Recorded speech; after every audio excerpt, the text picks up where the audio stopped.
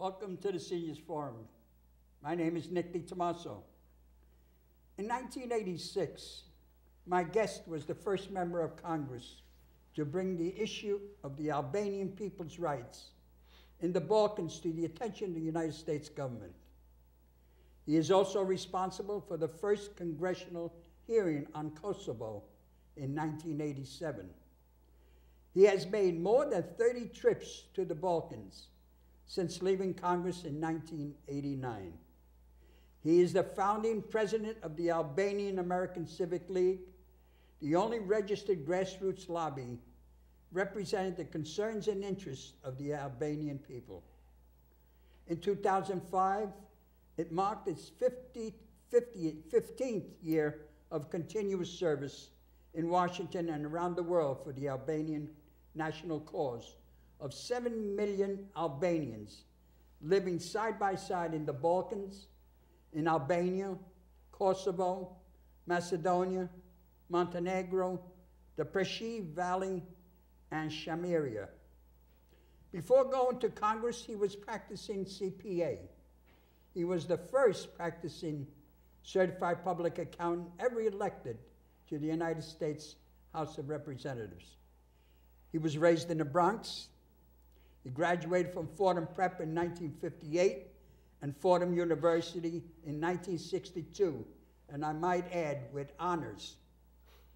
Please join me in welcoming the Honorable Joe DioGuardi to the Seniors Forum. Nick, thank you. And thank you for Welcome. inviting me. It's my pleasure, Joe. Bef- Before we get on to anything, you have to explain to me, how does being an Albanian come up with an Italian name? You Now, know, I've, done- the- I've done some research on it, and I was amazed. I was born in Italy, but I was six years old when I came here. But I was amazed when, when I read that there are, I think, 52 towns and villages Yes. in Italy that are predominantly Albanians. There's over 50, and I was honored to bring National Geographic magazine there in 1999. Believe it or not, the Kosovo War was just beginning. And I get a call because they saw my website, the Albanian American Civic League, and nobody else in those days, even in 1999, forget about 1986. We know in 1986 it was completely off the radar screen. But even in 1999, there were very few experts that could talk about the history of Albanians anywhere. Uh, and I learned all this in Congress and after, and I'll tell you how I got there. But here they called me, they said, you know, the Kosovo war is on, refugees are coming now from Kosovo and Albania into Italy. Uh, you know, could you maybe uh, give us some background on this refugee problem? And we have a senior editor going over there, Priit Vesilind, and uh, he wants to go to the Straits of Otranto because it's only 45 miles from Albania to Italy. Now think about it. That's closer than Key West is to Cuba or Haiti. I know, I live right across from there, Bari.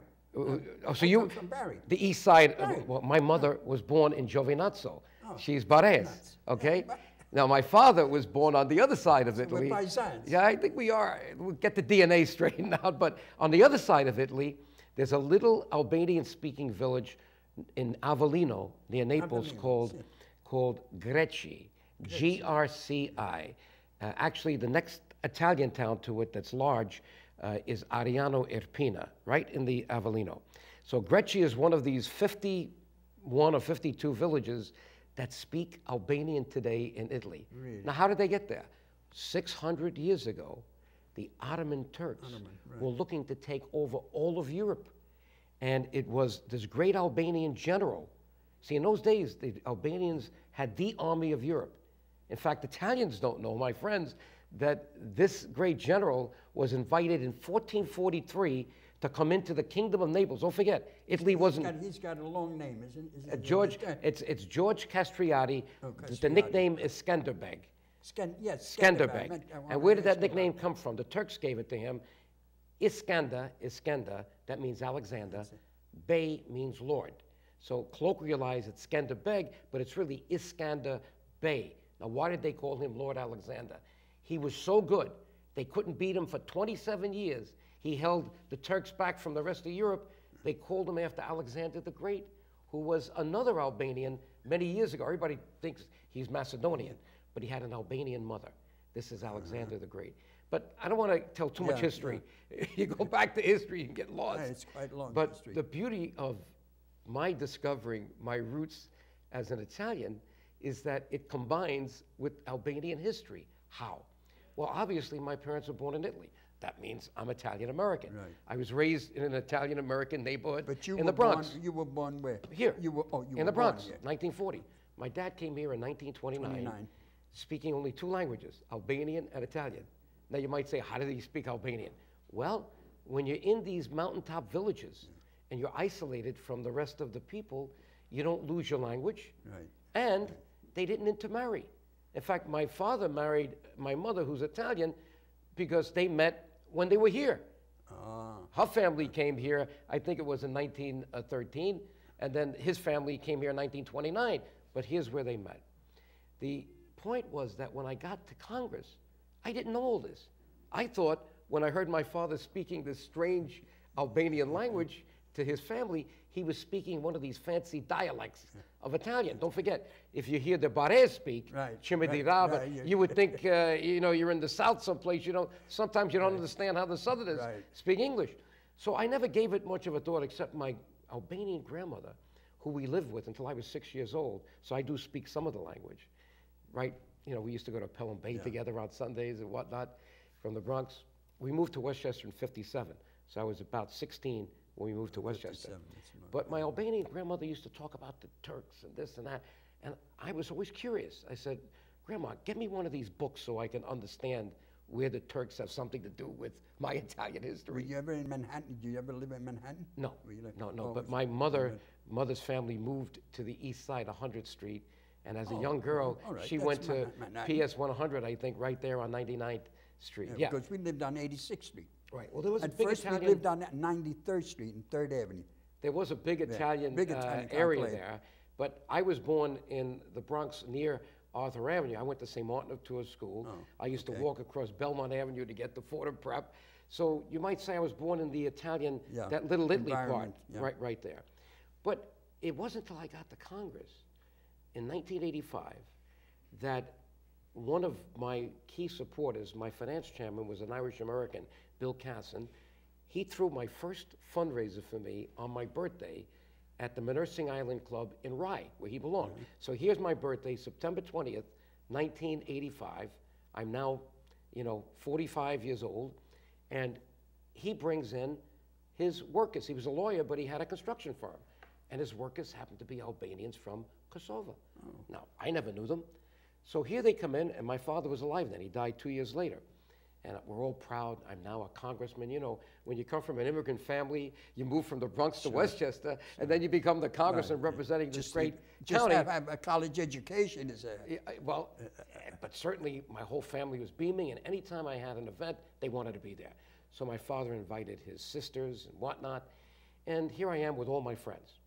And this group of Albanians was standing next to my father, and he's speaking in the Arbresh dialect, which is the Albanian from Italy, which you can understand if you're from Yugoslavia. It's, it's the same roots. And they come running up to me. They overhear him speaking Albanian. They said, We thought you were Italian American. How come your father's speaking Albanian? I said, Well, I am Italian American. My parents were born in Italy, but I know that my father has this kind of uh, sub background, had something to do with the Turks, and, and I think maybe it has something to do with Albanians, Albanese, Gegeda, going back to the Romans. No, no, you are from Kosovo. Don't you realize our people got to Italy in, the, in, in 1488 when the Turks were overrunning our country after 20? No, no one ever taught me this.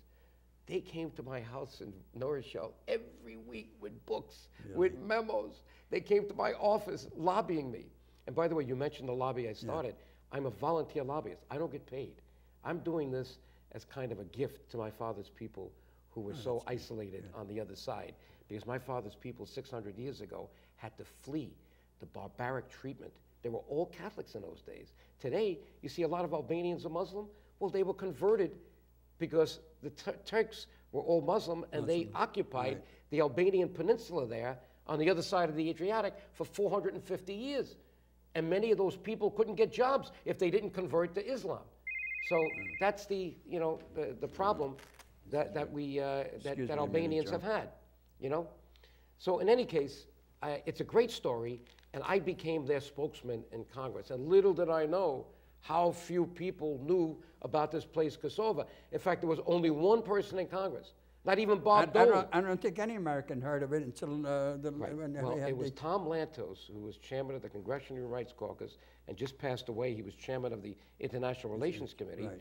He, Tom. Lantos, was born in Hungary. He's a Hungarian Jew who escaped the Holocaust. So when I went to him, because I was working with him on apartheid, uh, on, on the issue of Soviet Jewry, on the issue of Tibet, and so I figured, let me go to him and mention the story you I'm something- getting, something human rights, common. that Serbs are killing these Albanians. And he said, Joe, I know the Albanian people. I'm born in Hungary. I even know their hero, Skanderbeg, because he was a contemporary of our great freedom fighter, János Hunyadi. Boy, did I hit the jackpot. So here, this guy, Lantos, very prominent, and through him, I got the Jewish lobby to understand oh. that this was a key issue. And, you know, I didn't have much power in those days. I was a junior member of the minority party. But once we got the Jewish lobby to understand that Albanians saved all the Jews who got there during the Holocaust, then we got their support, and the rest is history, Nick. Uh, my wife, by the way, is a former publisher. My first wife passed away. I met Shirley in the 90s. We got married in the late 90s at Fordham University, believe it or not. But uh, my wife and I, Now, your wife, from what I understand, she has a, she plays a big part in your. oh yes, she does, because she was a publisher of a company on international politics. That's how we met. And uh, the interesting thing is, you could say that she and I, it took 20 years after I left Congress, created a new state called Kosovo. Because Kosovo now was recognized first by the United States on February 17th, uh, 1987. And now 62 countries have recognized it. But it's still not quite there because the Serbs are fighting in Europe to keep it from being recognized further. But 22 of the 27 European Union nations have also recognized it. And I didn't know we were going to discuss this. I thought we were going to discuss Eh? unaccountable know. Congress Now, well, well, as a we'll- we'll but get- it's an we'll get- interesting story. But it's, it's, it is interesting, that's why I want, I'm, I'm a very attentive in listening to what But I am Italian American, but if you ask the Albanians, they all think I'm Albanian because my family spoke Albanian as well as Italian. Oh, that's great, that's great, Joe. You, you have a, certainly have a, a very interesting and, uh, And the job's not finished. There's a lot of other problems going on in the Balkans that we're working on, and you'll see them unfold in the next year. uh, uh, now, when you, when your father immigrated to the United States, that was in- back in nineteen twenty-nine. 29, yeah. Now, he was fifteen He years was old. 15. But, uh, what no kind of labor, what kind of labor was, he- uh, laborer was he? Okay. What did he? Well, don't forget, most Italians in the southern part of Italy who came here were poor, looking Oh, for well, jobs. for- right. The aristocrats stayed there. The poor people came We here. came in nineteen thirty-five. Well, I was born in 1920. And I'm sure that you needed a job or your family was looking for work. Well, that's really what was happening in my father's town. It got so bad during the Depression that people were literally starving. My father tells me that uh, he remembers two of his cousins in the town being given to a local convent because they couldn't feed. couldn't They had large families. Right. They were farmers, and one of the families had 10 kids. Two of them, uh, young ladies, became nuns. In fact, I remember one, we used to visit her over here until she passed away. But the object, I guess dad only had a fourth grade education in, in Italy, and they were farmers. uh, and they used to come down once a week. My dad used to say how he put the wine, the nuts, and all their stuff on the donkeys, and they'd sell to the Italians in uh, Ariano, in, in Avellino. Avellino. And then they'd go back. Uh, so there was really no integration back in those days. Today, there's a lot more integration. It's not as isolated as it was. So you, you find Albanians marrying Italians, and my father had to come here to meet my mother. She's totally Italian. But he came here with really no skills except farming. But in a way that helped him. Guess how, Nick? He he's in Harlem. He immediately started shining shoes at 15 to make some money. But then he saw that the African American people in Harlem liked greens. Now, being a farmer, he was comfortable with that. But he was very clever. He found out that they bought the greens, the, the stores in that area, from the Bronx Terminal Market Bronx by Yankee Stadium. Right. So a year later, he went there himself. I don't know how he got the, the car or whatever he did. He brought the boxes. It started a stand right on the corner of 145th Street and St. Nicholas Avenue. And by 1933, three years later, he had a store. So already he had a store in 1933. What is he now? He's, uh, he was born in 19, 20 years old. He meets my mother the next year. She's now living on Belmont Avenue in the Bronx. But in those days, you'd like to go to the movie theaters up on the Grand Concourse, the Paradise, or the Loews Fairmont, right? But by 19, my mother tells me she met him because he was driving this fancy car around, and they met, you know, as kids normally meet, you know, uh, talking on a street corner or something. And my dad invited her to a, a movie. He got to, to like her. Her name was Grace Graziella in Italian. Her last name was Paparella, Grace Paparella. That's her maiden name. Uh, I remember that name because I use it on my credit cards as my, my, my key word. Well, they have I'm to always check. that he did it because all the Barres, from Bari, all Yeah. Barres. I know as far as uh, our people, where we come from, we come from a small town in Bari called San Nicandro. There's many of those small villages there. Right. Yeah. And uh, we're all, all uh, icemen. Yes. We're all in the ice Well, business. like the Cirillo family. Right, They started in ice, they got into Right, oil. got into oil, When they right. came, coal, That's- coal first, right, then, then oil. right. It's amazing. Yeah. Well, then my dad had this fancy car. Can you imagine? Here he is selling vegetables, doing so well. He had this Willys-Knight with a silver wheel. And my mother says in 1934, he was the only one in the Bronx with a radio in the car. No kidding. Here he is, 21. so you could see he was clever already. And by the time I was born in 1940, he had this store in the Bronx on Tremont Avenue. And that's where I was raised until we moved to Westchester. Yeah, and that's the same thing. We went from ice, and my father bought a little fruit and vegetable store, and from there we turned into a deli, and we went to Right. a supermarket. It's, it's the way Italians yeah. progressed in America. Right, They worked hard. The- you know, the roads were not paved with gold here. Someone said right. the Italians Well, paved those roads. We were told. I know, I know, I know. Going generations back, we were told that Right. you know go to America because the streets are paved with gold. Right. But uh, you know, no one told that you had to work for that gold. That's true. You know, it was there, but you had to work for it. Well, now ask me some accounting questions since I'm Yeah, the only okay, practicing certified public accountant ever Right. elected to Congress. Yeah. And I wrote this book about it, Unaccountable Congress. It Yeah. doesn't add up because I wanted the people to I got- know I got my this. experience. Yeah, yeah.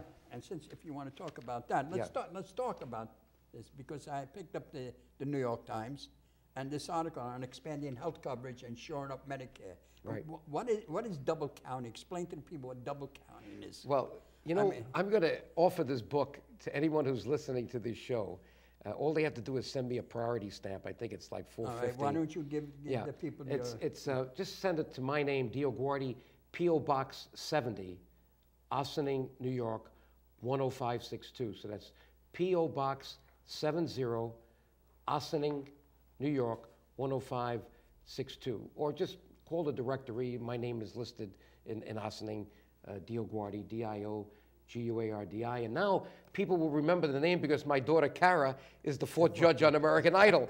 And she's using the name Dio Guardi. Even though she, She just got married this Yes, year, I she's not changing her name. So that's good. And by the way, for those who don't know what it means, it's a beautiful Italian name that goes back maybe to Roman times because Dio, Dio, means God, God. like Deus in Latin, and Guardi means watch or Watch. protect. So I told people if you pronounce my name right, Dio Guardi, you're saying a prayer and you don't even know it. Well, and the, and the title of the book is appropriate. It's Unaccountable Congress. Unaccountable Congress. And let me correct. say about that, Nick, because you'll see me in the back here and you'll see what the Secretary of Treasury said about this book in those days. This book was written in 1992, 17 years ago, and it couldn't be more true today. I was worried about the deficits back then. Believe me, no one could have foreseen that we'd have a deficit last year of a trillion, 500 billion. That's not the national debt. That was the, like the national debt when I was a congressman. Now the annual deficit is a trillion, 500 billion. And, but the point is, I took a congressman's voting card, a plastic card, just like your credit card, and I put it in the front of the book here to make the point why Congress is unaccountable. Here it is the credit card, congressional credit card, credit line unlimited, expiration date never, bill to future generations. Now, this article on double counting, it's covered in this book. Nick, I was the first one to forecast the potential bankruptcy of the United States of America. It's chapter four. The title is The Big Apple, that's New York City, and Washington, one bailout after another. I had worked on the problem of, of New York City in 1975 when my firm Arthur Andersen was hired for the bailout.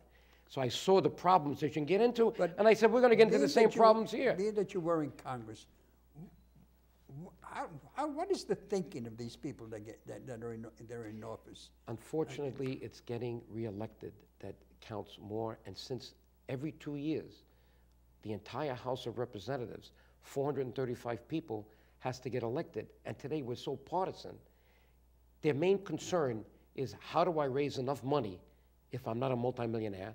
Because if you are, you can use your own money. We know that. We saw that at Corzine, we see that with Bloomberg. But if you are not, and many congressmen come from teaching positions and other things, so they're concerned about survival, and they're not spending enough time thinking about the big issues. And by the way, most of them are attorneys. Of 400 435 back in, when I left in 1989, 286 were attorneys. Attorneys. No CPAs. Now you have a few more. But most of what they do is numbers, the budget process, the appropriations. You need someone who can count, and they don't have a good accounting system. They don't have the one that the Securities and Exchange Commission imposes on the corporations before you can buy their stock to protect the shareholders. Right. Because Congress exempted themselves from the SEC rules. So right off the bat, people must- should be mad about that. You must that. believe in uh, term limits. You Well, that's, well, I do. I think it's important. If the process is not working to be competitive, and if they did something I don't care for, design districts by computers, so I give you more Republican votes if you're a Republican, you give me more Democrat if I'm a Democrat, and therefore there's no competition. comp- Because now out of 435 seats, they say only 30 are competitive. So where's the new ideas? Where's the new leadership? Where's the competition? And we did the same in New York State. Why do you think you've got these guys being indicted, like Senator Bruno and Seminerio? Because they went to business on the public's uh, resources. They used their office up there to make money they shouldn't have made, and they didn't disclose it. If they disclosed it, we would have known. At least in Congress, we have disclosure. Uh, what- And uh, what, what is this paradox that has some lawmakers in a quandary over this uh, issue of double? A double accounting. Yeah. Well, the point made in that article is the Obama administration is claiming that this uh, health care bill, the one that was passed in the Senate, now they got to combine it with the one in the House. Right. We still don't know what's going to come out. But the one in the Senate would be a deficit reducing thing. In other words, they're saying that over 10 years, this will reduce the deficit by, I think, $130 billion. Well, you know, some of these congressmen are pretty smart. They're businessmen, and they started to figure out well, wait a minute. You're saying that part of the savings is going to be from Medicare, and the rest of it's going to be for other things. But they said, well, don't we have a Medicare trust fund? Aren't you telling us that the savings that you're talking about are going to make the Medicare trust fund stay longer? You should not count that as part of deficit reduction because that accounting is in the Medicare trust fund. But you're saying you're combining that savings, several hundred billion, with the other savings, and we're only going to be short 132 billion. No. You see, we have a phony system, and it started with Lyndon Baines Johnson. Are you ready for this, Nick? To disguise the cost of the Vietnam War in 1967 68, he came up with something called a unified budget. Now, what does that mean? And we still use it today. He saw there were surpluses in the trust fund for Social Security. We didn't have Medicare then, it was just starting, Right. right? And he saw all this cash sitting there, and he said, Why should I report this big deficit from the war when we have that cash? Why don't I just consolidate the surplus from Social Security with the deficits and everything else and come up with a net number? This way, the people will not be so uh, angry that we're spending too much money. Would you believe we've been doing that since 1968? Meaning that the people don't know the real deficit. And as a result of that, when Clinton got in, because he had some reforms on welfare and whatnot, and, and some of that came over from the, the Bush and Reagan administration, but he was at the time when he said we had surpluses. And people were saying, ah, we don't need DioGuardi's book anymore. Now there's no more deficits. We got surpluses. I said, baloney. Those surpluses are because of the phony accounting system they're using. They're using the Social Security surpluses to say they have surpluses, but that money has got to stay in the Social Security Trust they, Fund. they, they do down even locally. Right, so you, you're not supposed to take that money and just combine it with everything else. So my book today is even more powerful because people see that we took $5 trillion out of the Social Security Trust Fund with this unified budget to reduce the deficits over the years.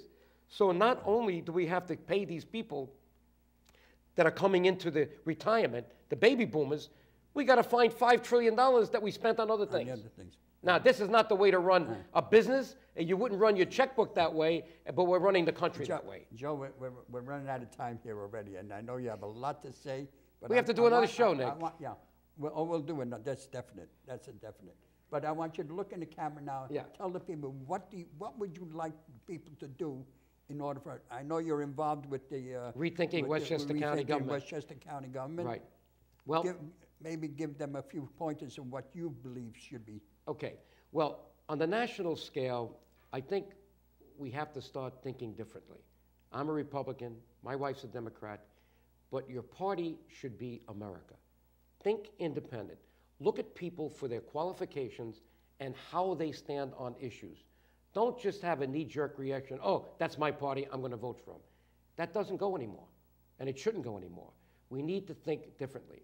On the issue at Westchester County, out of 3,000 counties in America, we are the highest taxed. Imagine, of all America, our county is the most expensive.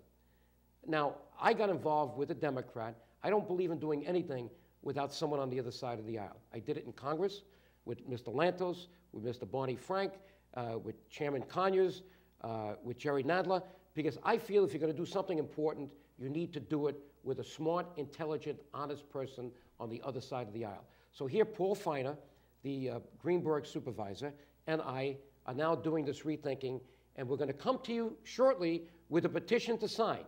Because if the Board of Legislators of Westchester County does not come up with the right Westchester County Charter Revision Commission to restructure this county so that we become efficient and downsize it and streamline it, then your signature is going to then eliminate that board. Because we found a law called the Alternative Form of County Government Law, put on the books in 1952. Now we got to get like 30,000 signatures to make it work. So If someone, if someone wants to get in touch with you or wants to Right. join up with this. Now, uh, the one thing I'd like you to do is to, uh, please, if you want to be one of the ones that carry this petition, uh, call me on my cell phone, 914-671-8583. Truth in Government is the nonprofit that I have that's raising the money now to make this thing work. But again, it's 914-671-8583. And if you forgot that number or you can't write it down, just look at the phone book for Joe DioGuardi. Call me in Ossining. I'd love to have people around this county carry this petition. It has to be witnessed and all to get these signatures. A- Again, I want to mention out there that get in touch with Joe. You heard what he has to say, and he has a lot more to say. We'll have him again, and you- you'll, you'll continue on where we left off. Absolutely. And, uh, but please, if you have any questions, if you want to get in touch with me, you know, you know the, uh, the method we use. Uh, Get in touch with me, call me, my number's 245-7176, or you can reach me at the, at the senior center here in York, in Yorktown. So with any question you may have, any problems you may have, please, And, put them by me first, and I'm, I'm sure I can help you. and if you want a copy of the book, just send me a copy of the priority stamp, P.O. Box 70, Ossining, New York, and uh, I will put this in with articles that I've written since showing you that it's gotten worse, not better, in the last 17 years. And thank you again for watching, we'll see you next time.